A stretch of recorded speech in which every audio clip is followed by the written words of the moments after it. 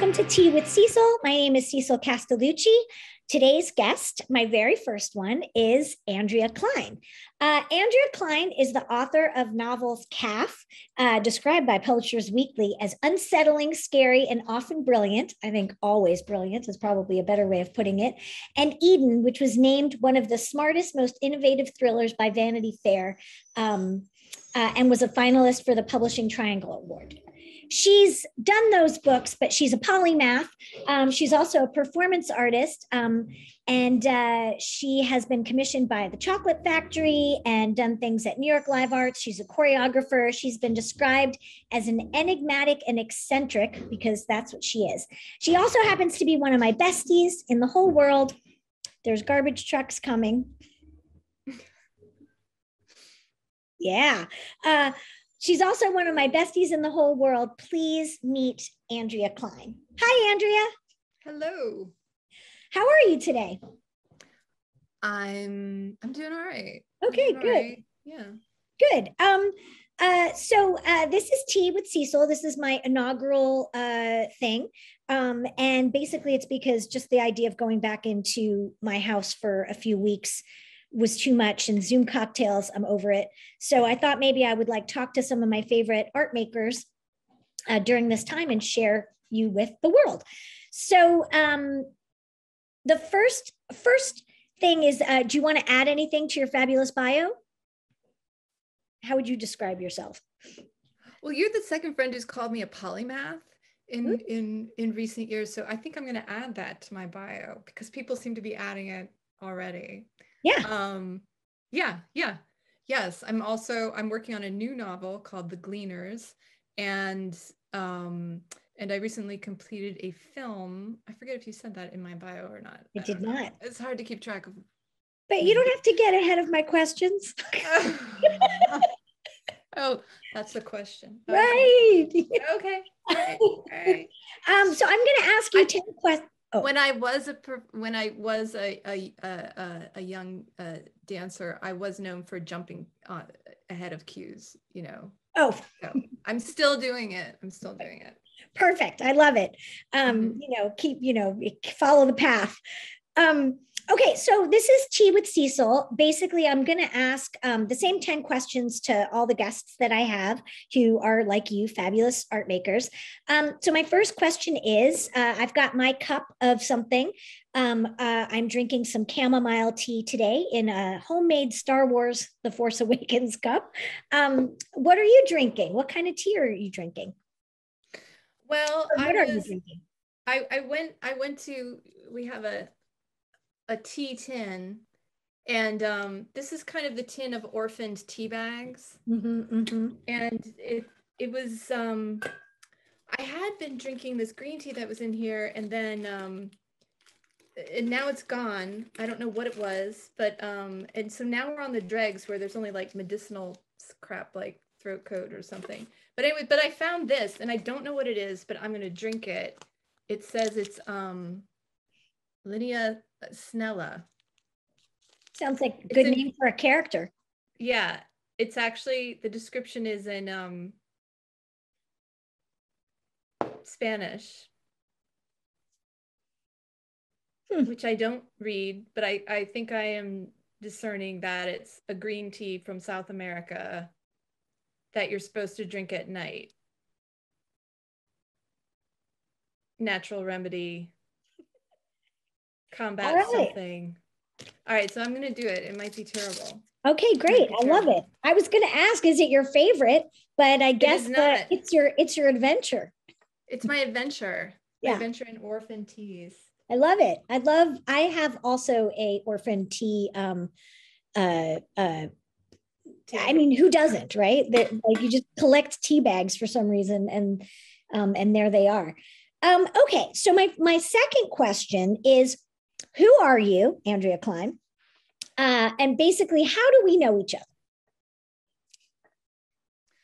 Well, we know each other. I don't know who I am, but we know each other um, because we were both we undergrads at NYU um, some decades ago. And we lived in the same dorm on the same floor, on the same end of the same floor of the same dorm. And I believe the story goes that you befriended me because you thought I was going out with some guy who you had a crush on. And so you were mad that I had a relationship with him, which was completely untrue. I had like no relationship with this person whatsoever. Um, I think so it was our we RA. formed a relationship, you and I, a friendship. I think it was our RA, wasn't it? Our resident assistants. I have, I have no, I have no idea. Yeah, I can't remember. Um, anyway, that like what I all I remember, I don't even remember that part.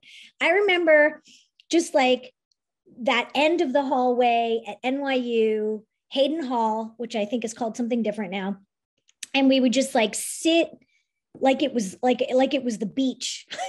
and then have beers. We would yes, at the, the end of the hallway um and and yeah and so i was in one room and but then we did become roommates didn't we? Then our second year we were roommates. Yes. The first year no we were we were. I'm not yeah. sure about this tea. Um, I was always impressed with, um, you know, because you were doing experimental theater workshop at NYU, and that was very arty. And um, and uh, uh, you you just always were like quiet quietly wise in our like 17 18 year old world. You're just very quietly wise and i really loved that about you because i was so wildly not wise. I'm i'm doing it now i guess. Oh yeah you are. Quietly wise. Um, yeah i'm yeah i'm just being quiet um, so, um, at, oh, go ahead. No, you. So, at, at, so what made you decide to this? I always wondered what made you, what drew you to um to ETW. I remember you talking a lot about like, you know, Grotowski's prints and like you know, and like all these things that you were learning. How do you think the stuff at NYU sort of like helped inform your work, your artworks today?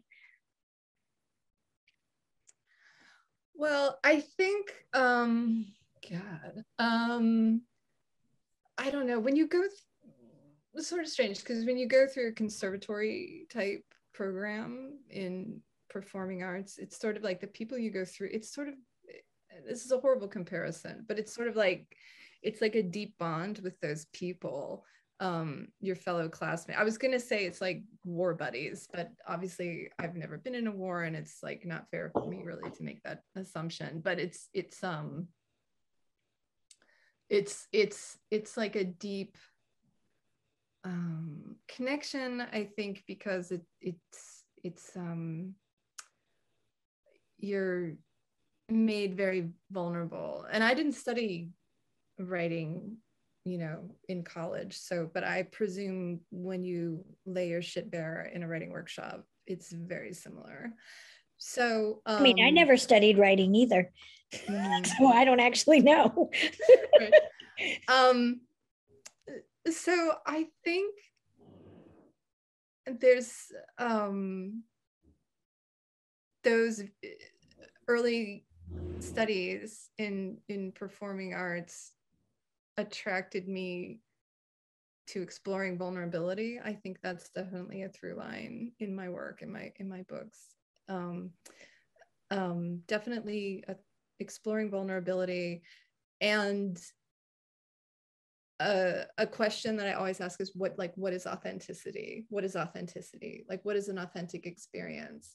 And when you're a writer um, similar to when you're like a theater director or choreographer or, or a film director you okay i, I just uh, this is just a side note i don't know if you can hear this but i, I live with a musician who's doing something in the next room.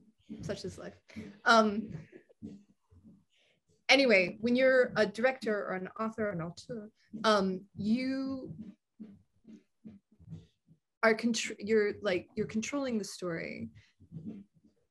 And this is always it's like a weird kind of conceptual ethics question that i'm sort of interested in is like how much should you control it? And like or like when we think about artworks that really move us and yet sometimes we feel emotionally manipulated by them like is that an ethical thing to do? Like do you want to like this whole idea of like but i want you to feel a certain way but if i make you feel a certain way that's like i don't know traumatic you know is that a purposeful thing to do as an artist? I just went like way off in some other direction. You just asked like what it was and when we were 19 that was no, I, love it. i was still doing. I think um, it's sort of related because i think one of the things that um, attracted me to you as a friend as a person as a person that i adore who i have as a vital nourishing sister friend um, is the way that you approach story and the way that you approach narratives that like i don't think i was brave enough even though i was like you know thinking differently than the mainstream. Remember we took that class art artists and social change? Remember that class? Oh yeah it was really horrible. It was a terrible class.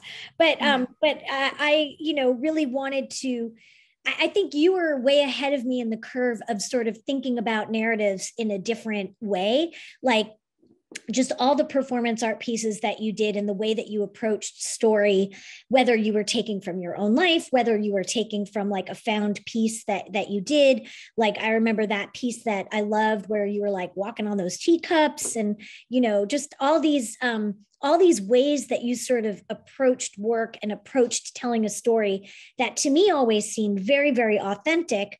Um, and I don't think I was there yet, but I think that you have informed me as an artist as I've sort of matured. I, I would say that, like, you know, something like the Plain Janes that I wrote is very much sort of me trying to channel a little bit of Andrea, um, you know, sort of uh, alternative um, uh, storytelling art piece, like art art art stuff so i do think that even you going on that tangent about like authenticity and you know questioning story. This is why this is why i love you because you are quiet and wise and because you're having these deep thoughts about about story.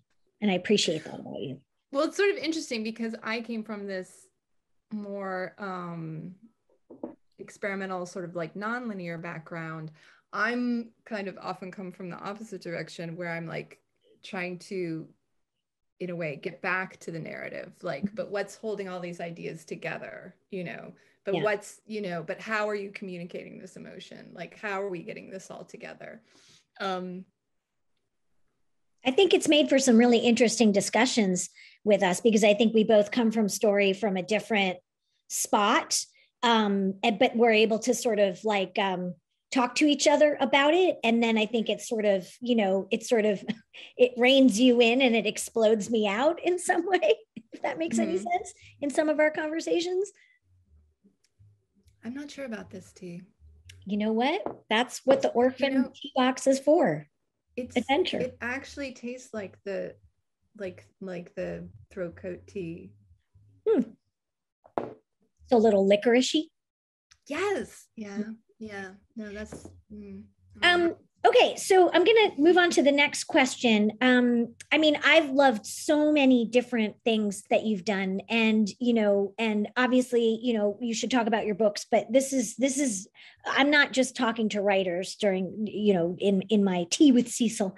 Um, so um, but one thing that i really want to talk about just because i loved it so much and it moved me so much and it goes back to that authenticity thing that you're talking about um, is the piece that you just did uh, at the chocolate factory um, over the pandemic um, which i think is pure genius. Um, and it, i'm going to get the title wrong. It's not the end is not what i thought it was. Is that what it is?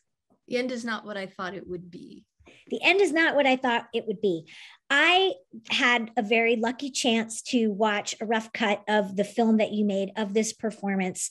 Um, can you tell me a little bit about this project and how it came about and just talk about it? Well, in 2020, in the fall of 2020, I was scheduled to have um, a, a, run of performances at the Chocolate Factory Theater in New York. And um, it was a commissioned work um, and so then then then 2020 happened um, and somewhere around i guess may um, i emailed brian rogers who's the director of the chocolate factory theater and i said so this is canceled, right? It's just the fall is canceled. I mean, in New York, the theaters weren't even allowed to open in the fall of 2020. Um, and he was like, yes, it is. But, and by that point, he was so exhausted and devastated from having to cancel and postpone everything. He said, if there's any way that your project could exist, given the certain parameters of that of that time, I would be happy to discuss trying to make that happen. And I said, okay. And I thought about it for a couple weeks. And then I came back and I said, what if I moved into the theater and I lived there for two weeks? And I said, the only person I feel like I can collaborate with is my partner, Bobby. And so he'll he'll move in with me and conveniently he's a, a composer and musician. Um, and we're we're gonna live there and we're we're gonna make a piece and we're gonna film it. And the end product will be a film but also sort of living there is also uh, is also the piece. So that's what happened. We lived there for two weeks at the beginning of december 2020 and if you don't know the Chocolate Factory theater you should first of all you should because it's a fantastic place. This was actually um, in their old building. They just moved to a new building. Um, and it's not a theater like you think of a theater like a traditional um, proscenium theater with a stage. It's like an industrial. Uh, it was an old industrial building that had been turned into an to an art space. So it's very rough. Um, you know, the, and there was there was no shower and there wasn't really a kitchen there were like two mini fridges and like we brought our own toaster oven so we so we arrived there with like a cooler full of frozen food and like Trader Joe's meals and our toaster oven and a blow up bed and a um uh, an inflatable kiddie pool with a camping shower to shower. And we lived there for two weeks and it was abs- it was it was it was absolutely an amazing experience at that at at that time. And at that time it's so weird how like the pandemic has gone through all of these phases because at that time so that was like 9 months into the pandemic. And at that time i realized that since i was 14 years old that that was the longest time i had not been in a theater either mm-hmm. as an artist or as an audience member going to see something. Longest stretch. Um because I, you know, I don't make performances all that often, but I, you know, I go to the theater, you know, or see dance, see theater, see concerts like all the time. And and it was it was really kind of an emotional experience. So we made this film which consisted of um these nightly performances. Every night we performed on stage to no one. There was no audience and of course this wasn't the piece that i i thought i was going to make. Um so it was centered around these improvised semi stand-up monologues that i did every night to no one. So it was completely unscripted. It was just what happened in the moment. Um and and and um it was really i it's i i hope everyone gets to see the film. It's currently i don't know it'll be at some festivals and some screenings later this year. Um, but it was really kind of a transformative experience that in the end really left it really left bobby and i in in tears. And um me too. I cried when i saw your movie. I mean i was and i think you're you know it it is really true. I, I didn't even reflect on that. Like i don't know that since i was since I've been a, ch- a child, you know, that I haven't gone to um, the theater and also movie theaters, you know, mm-hmm. and um, and I definitely feel this sort of like very huge lack. And I think that there was something so beautiful about the film uh, that you made um, with the performances that you did every night. It was very, very effective. But I interrupted you. I'm sorry. Yeah, but just just saying that it's like sort of um, then this past fall 21 there was um in the before times, we used to, because my partner's a musician, we used to often have musicians um, in our house all the time. Like Bobby would rehearse musicians here and people would hang out and make dinner and blah, blah, blah. But of course that like didn't happen for, you know, a year and a half. Then in the fall, he had um, some friends up for the weekend to do a rehearsal residency here. And I was I was um, like out doing errands or something when they arrived, and so I got back. Um, they were already playing. When I got out of the car and I like heard like live music coming from my house, I was like I had that little like like yeah. I was I was really kind of like struck, and I almost started to cry. And I was yeah. and I was like in 2021 at the end of 2021 i was really like wow i didn't really i didn't think anything like that pandemic wise could could hit me so hard again. I kind of felt because... like that. Oh, I felt like that about music when I did the opera in uh, at Thought Bubble. Um, you know, we did it live in this gallery, and just like you know, having these singers just, I mean, it was like a full body recharge of all of my cells, just sort of like change directions. Mm-hmm. Yeah, so strange anyway, I hope people see the film too. I can't wait for it to get into festivals. I think it's absolutely gorgeous and it's such a slice of a moment in a very mm-hmm. particular um you know for uh, from a very particular performance theater um point of view where i think it's about almost the grief between performer and audience you know mm-hmm. um, like it's a conversation about that grief without sort of ever talking about it. Um, just amazing. Uh, okay now next question. Uh, what are you working on now? You said okay you did you finished that that but you're working on a novel? I'm working on a novel yes. Mm-hmm. And where are you at? It's called the Gleaners. It's called the Gleaners. I'm in like the middle of. You don't major... have to tell us what it's about, but you just like where are you at? What's going on? I am in the middle of like a wall. major rewrite, like a major like reconceptualizing rewrite. That's actually um, going really well. It's about. Um, well, I'm sure. I think we had this discussion before, where it's like sometimes you start a project um, with a question, and this question is uh, what does it mean to want to rescue someone? So, in a way, it's sort of about rescue narratives and what is what is that about that desire to want to rescue someone or that desire to be a hero and but part of that is also about the desire for someone else's narrative like the person you want to rescue like like wanting their story and so then mm. there's a part of it that's like well who gets whose story is it and who gets to control the the story? Which has been a lot in um, i feel like there have been a lot of essays and uh, uh, uh, uh, things about that lately like whose story whose story is it? Um, i don't want to talk about those stories but um, mm-hmm. but yeah but i feel like a lot of people are thinking thinking about that. Um, uh, how do you figure out what you're going to work on? Like how do you how do you how do you like how do you decide okay this is the actual project that i'm doing because i'm sure you're like me where you get 50 million ideas and then it's like all right which direction do i go in um i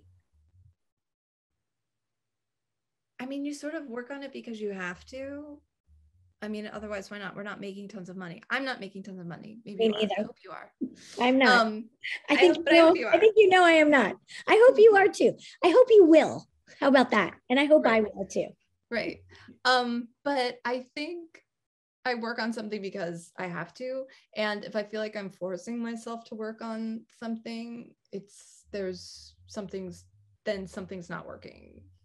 yeah, I I always say that like, you know, because uh, you know because i write stories in different forms and um you know it's like i always say that the story sort of tells me what it wants to be i imagine it's the same thing with you like obviously the gleaning told you that it wanted to be a novel and not a performance piece or whatever other thing you might do mm-hmm. yeah oh yeah yeah i mean that it's always very clear from the start what a project is like if it's a book or if it's a performance project or something. That's always very clear.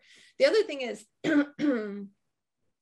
this also doesn't serve me financially, but I um, really like the long form. Like I write novels. I don't really write short stories. Mm-hmm. Um, and my performances are like, you know, feature length, shall we say. Right. Um, so, and that's just me. I mean, I love the, the short form that other people make. I just don't seem, for whatever reason, to be drawn to make it. So, because of that, my projects take a long time. Mm-hmm. so yeah, but yeah. you've done so many amazing, amazing, amazing projects. Like I'm, I'm just like scrolling through in my brain, like um, you know, I know this year on Google they did a, a Google of Claude Cahun, uh, who I share a birthday with. You know, and you did a fabulous piece about uh, about Claude Cahun um, in the past, and um, and yeah, I, I just that, was, that piece was twenty years ago.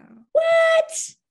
That Holy macaroni. I got my cane over there. I don't need to hear that. Um, okay.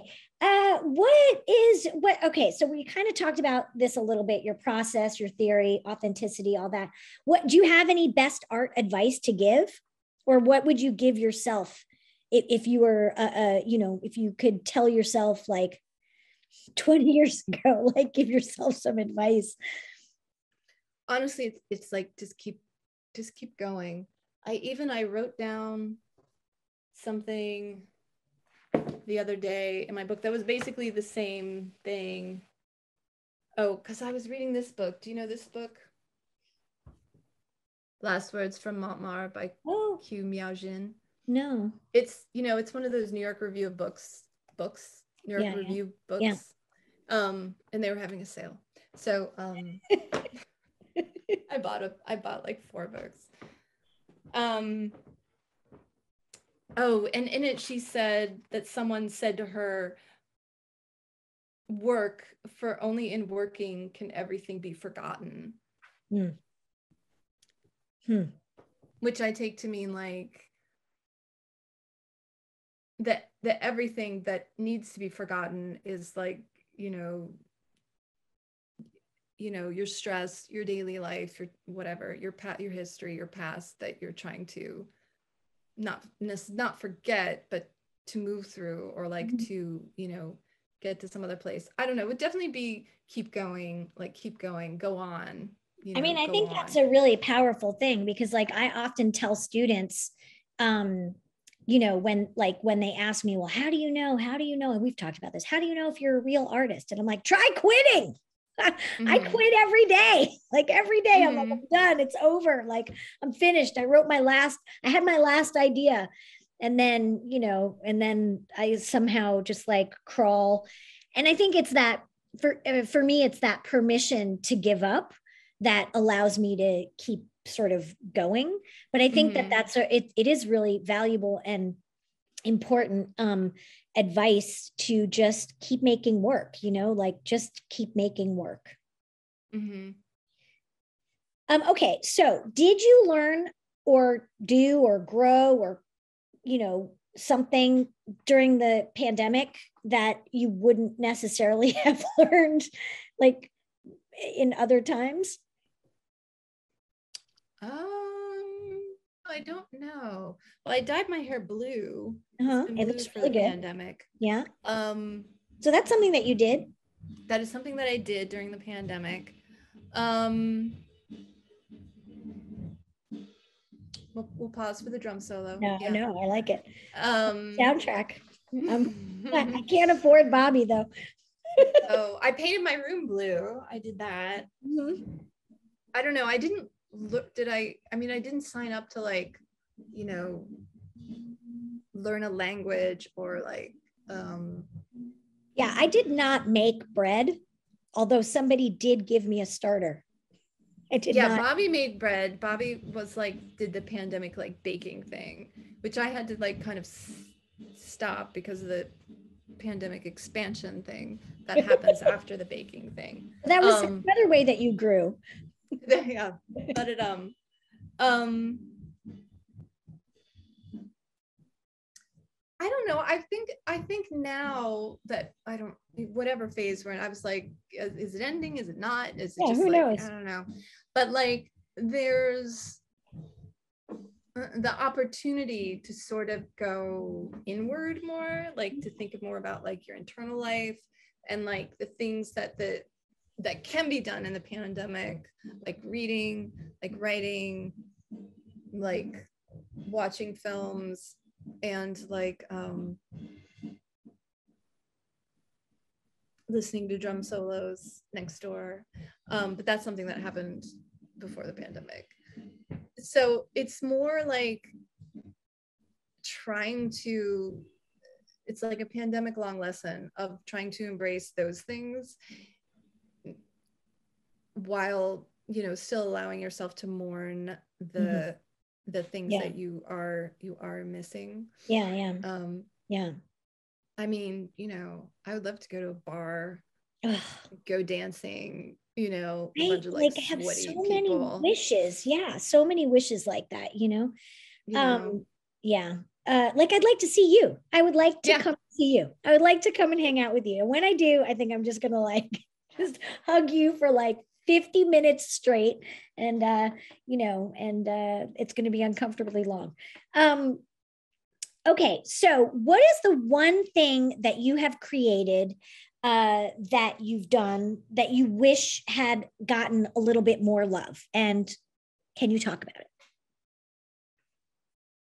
Oh my god everything. Like i'm terribly unsatisfied. Like i'm i'm i'm um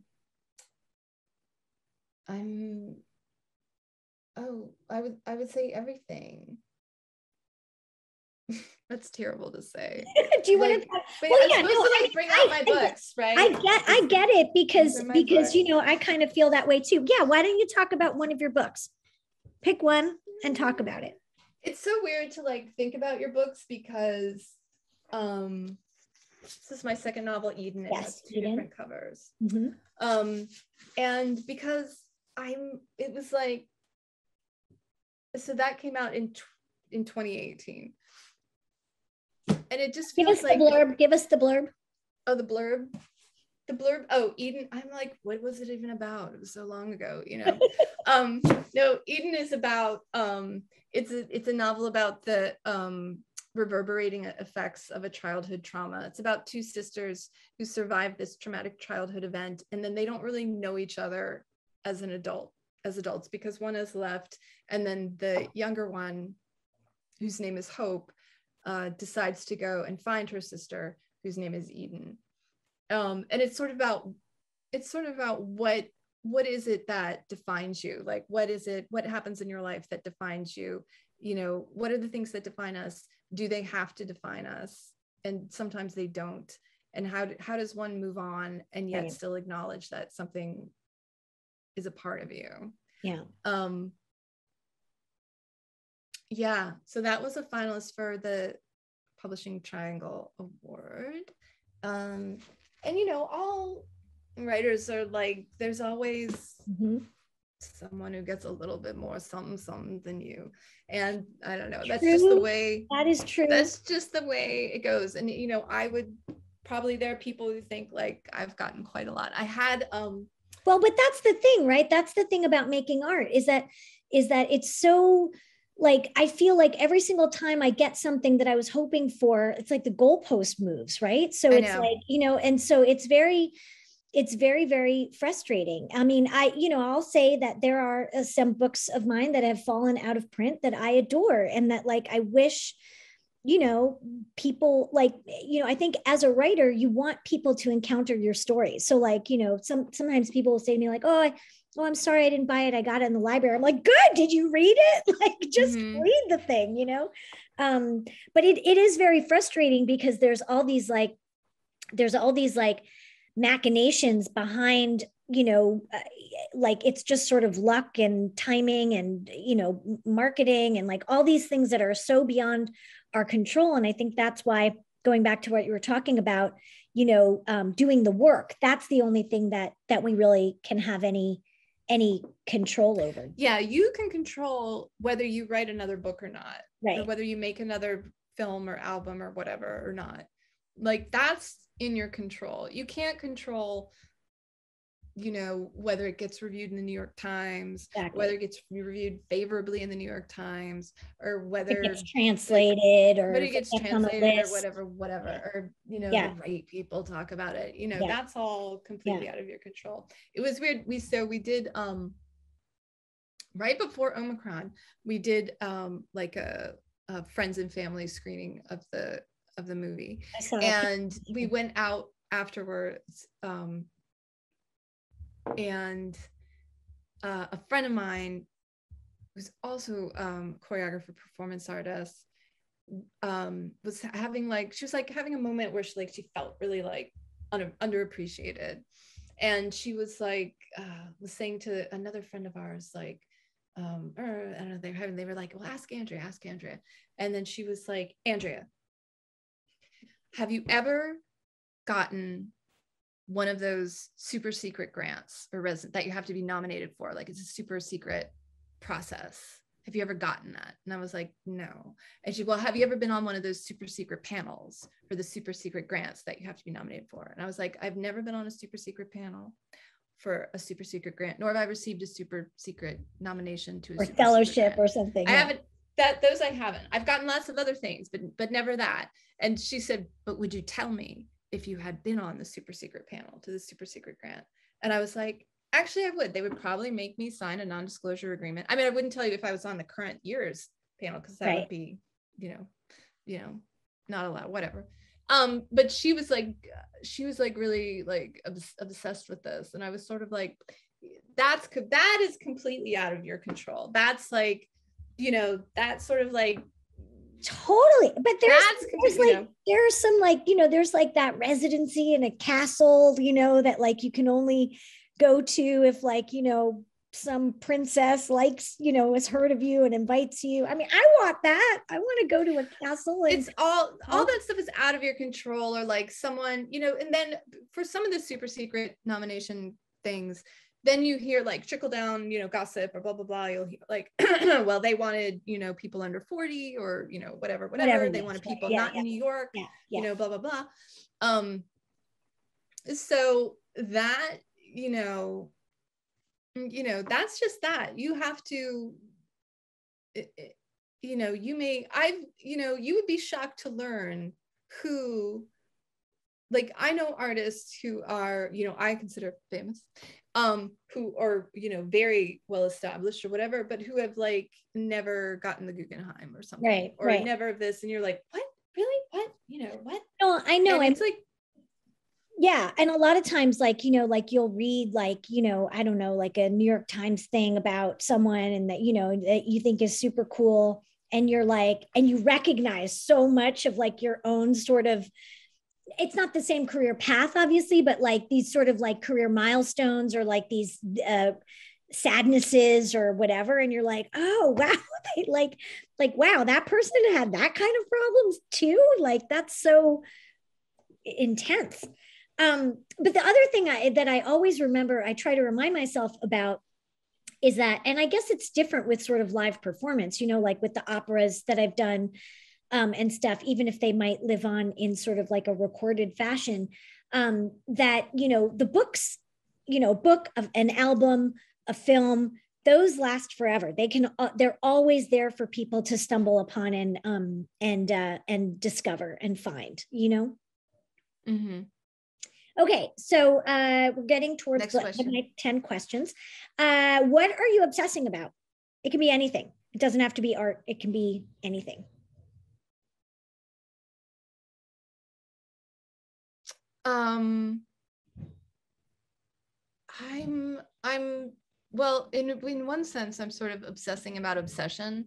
Like um i've been um like looking for books about obsessive love. And then i've also been interested in um um like carnality in literature like Hmm. literature with a lot of graphic sex Hmm, um fascinating. and um That's yeah. going to brew something up for you. Hmm, can't Yeah. wait. um and um i feel like i wrote this down oh and then another thing that i'm interested in is also um uh nature nature writing like people who've written on nature and the in the natural world. And those all sort of like have to those all have to do with the novel that i'm writing um i should send you i don't know if it's uh, helpful at all but i just found this um uh this like it's like a bird and artist residency like about birds.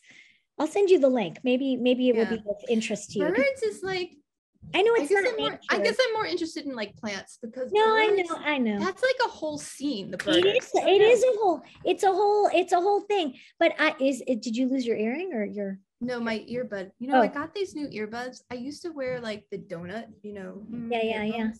And now I've like, you know, at Christmas I oh. got these things, but I don't know. I guess, I guess I'm discovering I have very small ear canals or something because they keep like, like just like, like like popping out and flying across the room.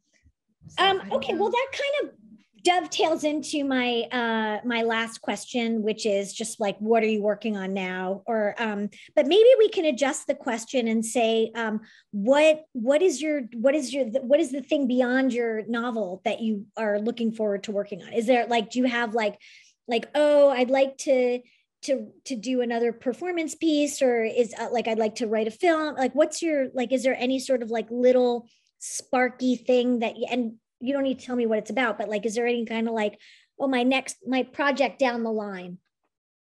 Are you already well, well i don't know if you've ever had this experience but i always sort of feel like i'm on a good track with my current writing project if i know what the next the idea for the next book is. Yeah. Like if i if i know what the idea for the next book is then I feel like maybe I'm maybe I'm close to the end of this book, you know, because I'm already thinking about that.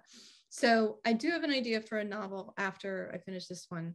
And then I had um, such an interesting time making this movie that um, I was sort of interested in making another one, but it's, you know, that would be so, or I'm, I guess I'm really, I'm interested in what a performance for film is not um I should clarify that the movie I made, it was not like just a document of, you know, it wasn't like wasn't just a concert film. It was more like um uh, if you know the work of Spalding Gray, Swimming mm-hmm. to Cambodia, Monster yeah, in a Box. Of course. So it, it is sort of in the tradition of the great New York monologuist, you know. who am I? Of course. I don't know. Spalding Gray. You're talking about the people yeah. out there who might not yeah. know. Yeah. Yeah. I'm talking about the people out there who might not know. Um, and I, in preparation for that project, I was like, I was sort of like, I've got to figure out how to make a movie. I've got to learn a lot about film, like right now, like a month before. And like I watched um all of these. I talk about this in the movie. I watched all of these Chantal Akerman films that were. Oh yeah, you did talk channel. About yeah, yeah, yeah, because yeah. they had like you know the Criterion Channel makes these little yeah. like that's how they organize them in these little collections. Um, and it's really this is i think something um like when i talk about i'm obsessed with obsession like mm, like kind of this is what i'm it's this it's been a struggle in the pandemic because you would think the pandemic is like now i'm going to sit down and i'm going to like watch all the Chantal Akerman films on the criterion channel. But i think because we've all like been through this trauma and that the the way that we've you know sought to keep our connection going is through the internet which seeks to divert your attention everywhere that it's hard to really focus and say i'm just going to watch like sort of like your disney project like mm-hmm. i'm going to watch i'm going to watch all the disney movies in sequential order you know um so but if you can do that if you can like limit your focus to like one thing you mm-hmm. learn so much more you learn quite a lot so yeah. It was it was weird. I'm also like i've also recently had this idea like i've had um so i wasn't i talk about this in the film i wasn't able to complete my Chantal Akerman, like watch every Chantal Akerman experience because the criterion channel like is so sneaky. Oh, and right. they start like when the month changes they're like and we'll just take a few away. We're taking yeah. a few away. And i'm like god damn it. Um so now i have to like pay to watch them elsewhere like on i don't know i'll have to get a movie account or something but also before that, I was reading all of um, Derek Jarman's books, mm-hmm, the mm-hmm. filmmaker Derek Jarman. He's an incredible, incredible writer. um, about film and about life, like in that time in the in the in the AIDS, AIDS epidemic yeah. of um, the 80s and early yeah. 90s in the UK. Um, and I have one Derek Jarman book left to read. Weirdly, I didn't go in sequential order. I went out of order because I started with Modern Nature. So I was interested in nature writing, um, which is a fantastic book. Um, so I think I read Modern Nature through the end. And then I have his first book, Dancing Ledge, left to read.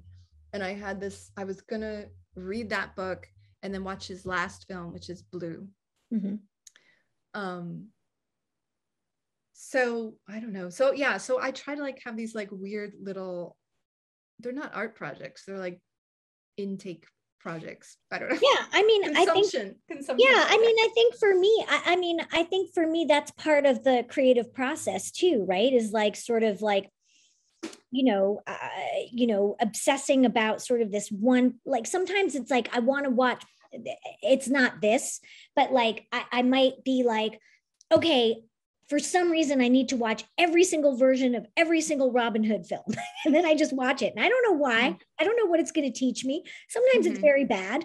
Um, you know, and and I'm angry at myself, but there's like some sort of like thing inside of me that I need to work out by sort of watching or reading like you know something that's very focused like that so i get it because mm-hmm. i feel like it is part of the part of the art process and part of the art spark um i mean don't get me wrong i feel like i'm coming across as like a weirdy weird snooty like super art person but i also watch the great british bake off you know yeah no andrea yeah and you know okay. what it's okay if you're a weird arty person i'm very arty as well you know um but then i also you know, I'm playing a zombie killing game right now. So, you know, yeah. we're multi, we can do. While you're talking to me. Yeah. Yeah. Um, Okay, well, Andrea, thank you so much for being my guest on Tea with Cecil. I'm sorry that your tea was was, tea sucked. Yeah, I'm sorry that your tea sucked, but your tea with me was fabulous. Um, uh, you can find Andrea uh, at www.andreakleine.com, and then where can well, where else can we find you on social media? Oh, I'm also well, I'm also on Twitter at uh, Andrea Kleine and Instagram Andrea Andrea Kleine because I think a teenager with the same name took it before I did. Um, and my name has a Klein with weird spelling. It's K L E I N E. Yes. Um, thank you very much. Uh, and I don't know how to end these things, so we will just say goodbye. I'm going to stop the recording now.